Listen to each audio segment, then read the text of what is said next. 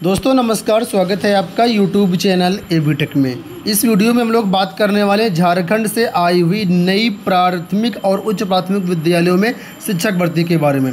आप लोग जानते हैं कि छब्बीस हज़ार पदों पर प्राइमरी और जूनियर टीचर की भर्तियों का विज्ञापन जारी हुआ है। लेकिन यहाँ पर झारखंड की तरफ़ से या जे की तरफ़ से एक कंडीशन लगाई गई कि वही अभ्यर्थी यहाँ पर आवेदन कर सकते हैं जिन्होंने झारखंड से टेट परीक्षा उत्तीर्ण हो यानी जे टेट यहाँ पर मांगा है सी टेट को यहाँ पर अलाउ नहीं किया है। तो पहले तो ये समझ लो कि ऐसा किया क्यों, और दूसरी बात इसका समझेंगे, इसका सोल्यूशन क्या है अब? कैसे आप लोग आवेदन कर पाएँगे जो अदर स्टेट से बिलोंग करते हैं?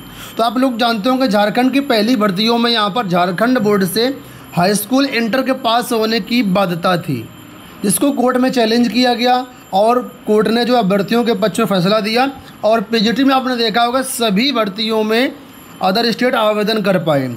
उसी तरीके से आपने देखा होगा, बिहार में डोमोसाइल लागू किया गया, लेकिन डोमोसाइल भी सुप्रीम कोर्ट मतलब हाई कोर्ट से खारिज हो गया, उसमें भी आपको अदर स्टेट वालों को अलाउ किया गया।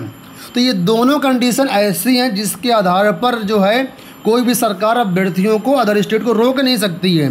तो झारखंड सरकार ने थोड़ा सा दिमाग लगाया और यहाँ पर जेटेड को लागू कर दिया। एलिजिबिलिटी क्राइटेरिया में कंडीशन लागू कर दी कि केवल जेटेड वाले अभ्यर्थी यहाँ पर आवेदन कर पाएँगे। लेकिन आपको बता दें, यहाँ पर इसको लागू करने से झारखंड के जो अभ्यर्थी हैं, वो खुद विरोध में आ गए हैं। कारण क्या है यहाँ पर कि 2016 से, बताया जा रहा है कि 2016 से झारखंड में जेटेड परीक्षा का आयोजन नहीं किया गया है। और जो 2016 वाले हैं भी कैंडिडेट या उसके पहले के भी हैं, उनकी संख्या बहुत कम है। ज़्यादातर झारखंड में भी छात्र सीटेड पास हैं। तो ऐसे में यहाँ पर झारखंड के अभ्यर्थी खुद विरोध में है और ये अभ्यर्थी समझते थे कि इस बार ऐसा हो सकता है सीटेट को अलाउ नहीं करेंगे लोग तो वहाँ पर पहले से ही याचिका लगा दी गई है। तो झारखंड में सीटेड को अलाउ करने के लिए याचिका लगी है। और ये मान लीजिए, अगर आप सीटेड को अलाउ कर दिया गया हाई कोर्ट की तरफ़ से तो निश्चित रूप से झारखंड के सीटेड अभ्यर्थी तो लाभान्वित तो होंगे ही होंगे। साथ में जो अदर स्टेट के सीटेड अभ्यर्थी हैं, वो भी यहाँ पर लाभान्वित होंगे, उनको भी इस भर्ती में मौका मिलेगा।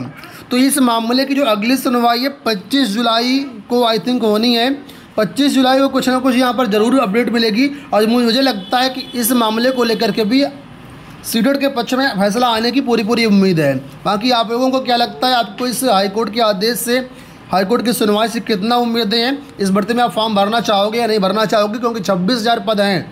पद कम नहीं हैं, ठीक है? तो कमेंट बॉक्स में बताइएगा और इसी तरीके के अपडेट की चैनल को सब्सक्राइब कर लीजिएगा। धन्यवाद।